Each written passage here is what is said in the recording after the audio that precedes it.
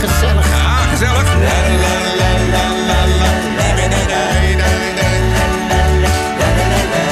Altijd leuk een Frans plaatje.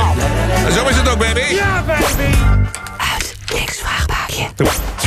Veilige seks, belangrijk, weten we allemaal. Maar Zeker. waar in Nederland worden de meeste condooms besteld en gebruikt? Oeh, de meeste condooms. Mhm. Nou, ik ga dan toch uit van een, van een hoofdstad. Amsterdam op één. Ja. Eh, wel interessant ook. Gekeken naar de bestellingen worden de meeste grootste condooms besteld in Noord-Brabant. Ja. Gevolgd door Gelderland. De grootste in Brabant, ja? Ja, ja. Oh, dat verwacht Eh, ik helemaal niet. Gelderland dus op twee, waar, waar ik woon. Even handig om te weten. ja, en op nummer 1 Drenthe. En dan vooral in de gemeente Vledderveen. Er is ook gekeken naar de meeste bestellingen van de kleine condooms. Ja, let op, mensen. Ja, even belangrijk. Dan staat Utrecht op 3, Noord-Holland, waar jij dus woont, Eddie, Ja, maar op dat zegt 2. toch niks? En eh, Limburg op 1. Oh, ja, maar dus in, in het zuiden, zeg maar in Brabant, is de grootste. ja, want ja, ik heb ja, eens een date gehad met iemand uit Brabant. Nou, die had een enorme fly.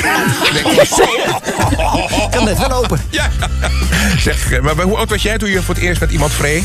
Oh, ik was, wel- ik was best laat. Volgens Ja, mij pas 18 of zo. Oh. Ik was 12, mensen. 12. 12? Ja, ja, ja. ja Maar zo- toen wist je al van de hoed toen- en de rand? Ja, ja maar ik, ik kwam bij een vriendje thuis. En ik zeg, wat ben jij aan het doen? Hij zegt, nou, ik ben aan het masturberen. Ik zeg, oh. Hij zegt, eh, doe jij dat ook eens? Dus dat heb ik toen gedaan. En een paar weken later nog eens een keer gedaan. Waarbij was. En toen kwam ik er één keer achter. Ik heb zelf ook zo'n ding. Dus, eh, dus daar ben ik gelijk mee gestopt natuurlijk. Dat begrijp je natuurlijk absoluut niet. Het is half één. Zometeen hier eh, de grootste weerman van Nederland. Is die zo groot? Ja, Jannie Visser komt hier gewoon op de radio. Maar eerst de Four Tops met een van de grootste. Reach out, I'll